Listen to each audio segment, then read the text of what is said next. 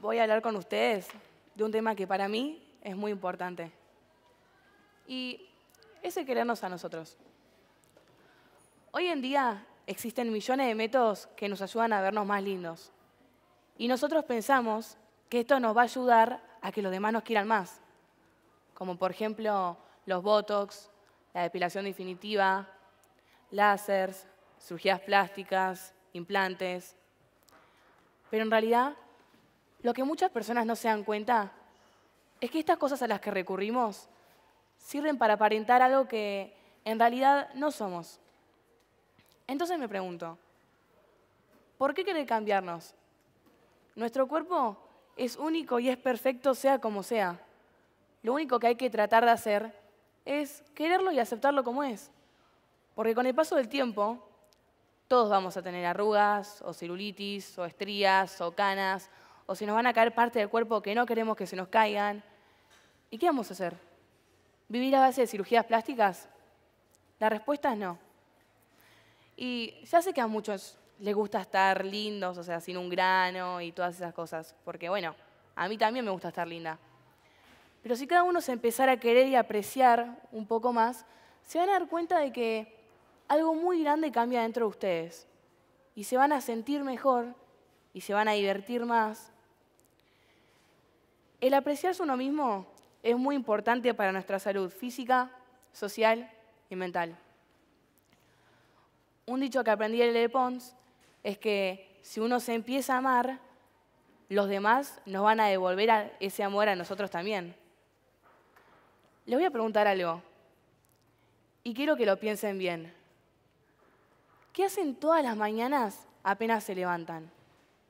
Bueno, seguro se levantan, se cepillan los dientes, se bañan, se peinan. Pero les puedo asegurar que la mayoría de las personas que están acá se miran al espejo.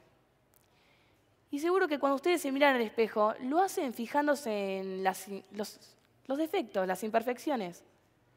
¿Y para qué? ¿Para sentirnos mal y no gustarnos?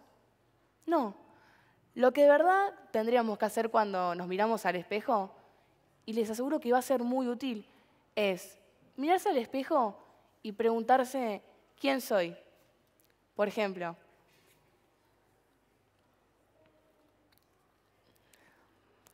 yo soy Delfina Catalá, tengo amigos que me quieren, una familia que me cuida, soy linda, me gusto, eso es más o menos lo que cada persona tendría que hacer cuando se mira al espejo.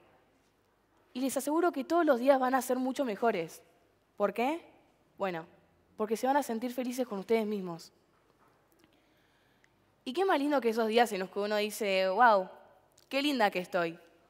O esos días en los que uno sale de la casa sin ninguna preocupación de, ¿tendré prolija la pintura?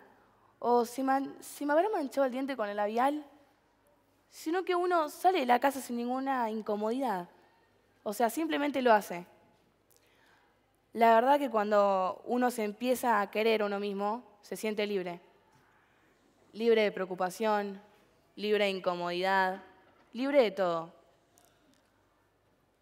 Cuando empecé a escribir mi charla, me di cuenta de que yo soy de esas chicas a las que se miran al espejo y no se gustan.